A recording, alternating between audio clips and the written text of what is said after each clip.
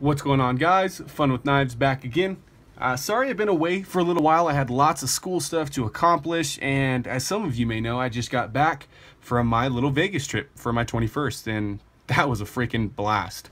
Um, but I'm back to talking knives of course and I have lots of content planned for you guys and it includes some of these new knives I got.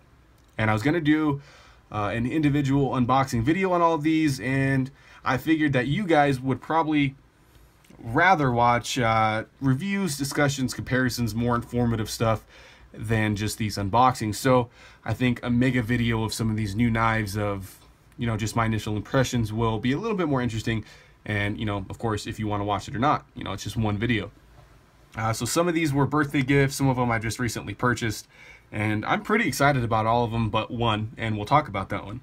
Uh, but something to address before I get into giving you my impressions on these knives uh, a little while back, I said that I would uh, do a giveaway when I reached a thousand subscribers on YouTube and a thousand followers on Instagram, and it's happened.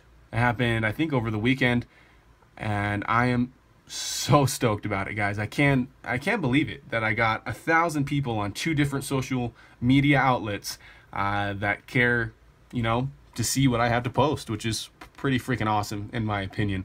In fact, I've been telling everybody who will listen uh, just how mildly successful my uh, YouTube channel is. Uh, not that they care. No one likes to hear about knives unless you're a knife person. Uh, but I am really excited about it, guys. And no, this is not the giveaway video where you guys can get entered in and everything. I'll do that here soon because what I've ordered uh, is still in transit to me. And I was thinking about giving away some of my own knives or, you know, doing multiple or doing an EDC setup. And I decided on what I was going to get. And sorry, there bumped the camera.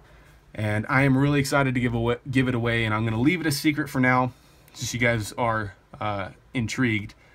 Uh, but I think you're going to be pretty excited when I show you what I'm giving away. And I was thinking about, you know, reaching out to some companies or, you know, some, you know, whoever that would lend me or at least give me some things to give away. And I was just like, no, I haven't done that in the past. I won't do that. I'll just buy it with my own money makes it a little bit more special and you guys know I like giving away knives and gears so hope it brings you a lot of ex excitement in however many days it takes for me to post that video. Uh, but that being said let's get into the new knives and gear I got. First one here we're to talk about is the SOG Gambit birthday present. Uh, you guys know I'm not super into SOG after I had the SOG Aegis. Just seemed overpriced and a little bit lacking in fit and finish uh, so I figured I would go the fixed blade route and see if SOG could remedy my opinion at least. Here's a little package. Gambit, obviously Karambit in styled knife. And then DigiGrip textured handle, curved sheep's foot blade. I think we'll call this more of a hawkbill shape, but lifetime warranty, that's always nice. And it's part of their tactical section, which is cool. Uh, here's some more info. Satin polished SOG sharp blade. I sure hope it's sharp. Tactical finger ring for safety. I won't bore you guys with all the specs on these. This will just be a, a quick video, I'm hoping, since we have quite a few things to talk about. But this is 7CR17 MOV steel. So I think this is my first dedicated karambit kind of knife. Uh, definitely uh, more suited to self-defense, uh, which I'm definitely not going to talk about or pretend like I know everything about. Uh, but I definitely think this thing would be pretty vicious in that capacity. But I did run it through a little bit of EDC testing just today. Um, and I actually liked it. I like the blade shape. It's unique, but it's functional. Hollow ground. There's your glass reinforced nylon handles with the little SOG logo emblazoned there. Pretty cool grip. I mean, it's different. It's kind of terraced in 3D, con or not contoured, 3D machined at least. Not bad. Big finger hole there. Easily get your fingers into that. You know, maybe not in gloves. I mean, lots of room for me. But if you got big hands and you're wearing gloves, I don't know. Uh, but one thing I do like is how long the handle is. You can get a four finger grip without even using the ring. And then you can choke back on it. You can see here, nice jimping on the top, full tank construction. Of course, I apologize guys, I'm getting sick now that fall's coming around, which kind of sucks. But uh, the one thing I'm most excited about this knife is the sheath. It's just a plastic material, but it snaps in nice, has a loop over clip that is 360 uh, degree rotatable and then you can flip it to the other side which is awesome. I carried this once. I put it in my waistband attaches to my belt and it just disappears. This thing's slim but you can access it with either hand you know and it comes out nice and easy which I was a little bit worried about. Uh, but the retention's good. There's no rattle in there whatsoever so pretty impressed with a SOG fixed blade as of right now. So I'll let you guys know how I feel in the upcoming weeks uh, something else I am very excited about is this knife the Schrade SCHF 16. Uh, there's all sorts of videos on YouTube about this knife and pretty much everyone seems to like it. And I've had good experiences with Schrade in the past. And here's a knife. I have been into neck knives as of recently and I thought this one was going to be a good candidate. So we see here G10 handle scales. I believe this is 8CR, 13 MOV steel. I didn't look up any specs like I said.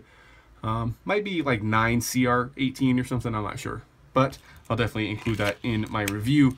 We have a thermoplastic sheath here, performs similar to Kydex, some grommet holes. I'll switch this out for paracord, of course, uh, but nice retention in there. You can hear it pop. Thing's not going anywhere. Uh, it's the perfect size, guys. It really is. It feels great in my hand. It's like a an EDC fixed blade uh, perfection as far as size goes. I like the clip point blade. I think it's hollow ground, black coating, and you can see little little landing hole. Uh, the one thing I am worried about is the thickness here. It feels good in hand, but this is a neck knife and it does have a little bit of weight to it. Um, but we'll see how I like that thickness once I'm actually carrying it around and that weight's going to be an issue. But so far, I'm really digging that SCHF 16. In fact, that might be uh, my new favorite neck knife as of right now. Of course, honeymoon phase, you know. Um, and here's the knife I am not excited about. This is my first Condor tool and knife. Um, I just recently heard of the company maybe six months ago or so and uh, they make a lot of more budget-oriented outdoor tools. You know, they're all about bushcraft and that kind of stuff. And I believe this is a new design, at least for this year. And I was pretty excited to get my hands on it. This little knife comes in this big-ass box for whatever reason. Uh, but this is the Condor Kickback. Now, it comes uh, wrapped in this Desert Tan paracord. I like the color and everything, I just didn't really like the wrap, so I'm just going to show it to you skeletonized. Sorry, again, guys, man.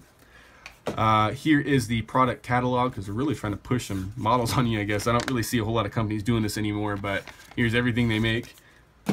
And here's the knife. So, uh, the reason I like this knife is because it reminded me of the Izula. just a little bit. I know it's a little bit smaller, it's cheaper, it's made out of a little bit different materials, uh, but you can see there's some similarities there. Uh, close to the same size. I mean, both neck knives, both black coated carbon steel. Uh, I was excited about it. And holy crap was this thing a letdown. Uh, th these are just my initial impressions. Of course, this might this knife might grow on me, but let's talk about the blade first. You can see here, pretty attractive. I mean, I think it's going to feel really nice in hand with some paracord. Um, sharpened swedge, but it, I mean it's a false edge, but it is sharpened. Condor right there. Black coating looks alright, except when it's close to the edge. It's kind of uneven how they applied it on there, and the grind is even more uneven. El Salvador, just two little skeletonized holes for you to throw some paracord through, and then your ring, of course. Um, I like the size of the knife for sure. It's nice and thin. It's super lightweight. Uh, but that grind, guys, is just messed up. I mean, uh, it's wavy, and their choice to make this this strong of a saber grind on this little of a knife uh, really lends it to be a piercer and not a whole lot more. Um, because it, it's just not, it's a terrible slicer.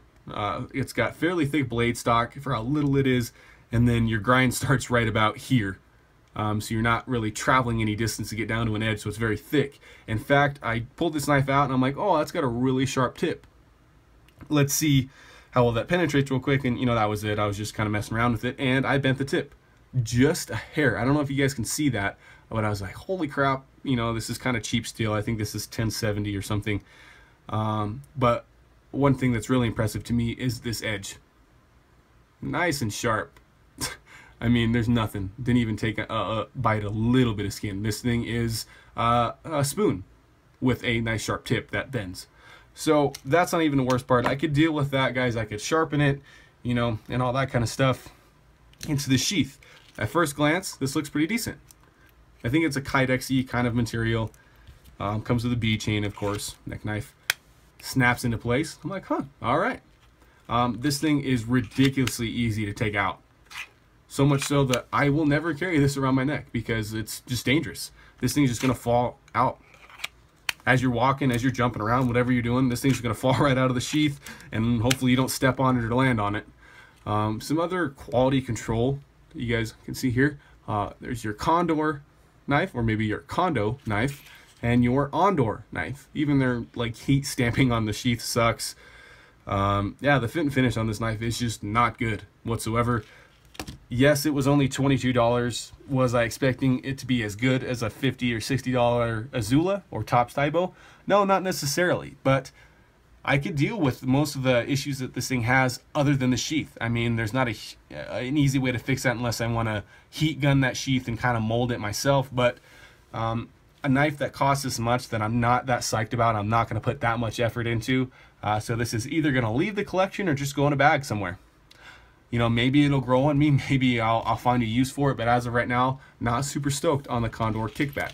And I'm going really long here, guys. Let's speed this up a little bit. Uh, here's my new Leatherman. I got this for my birthday as well. I'm super excited about it because I only have two Leathermans before this one. This comes with your yellow and black box. You do get the full-size tool user guide and I've been really trying to carry a Leatherman a lot more. Um, they're extremely useful and in fact I find myself needing a Leatherman a lot.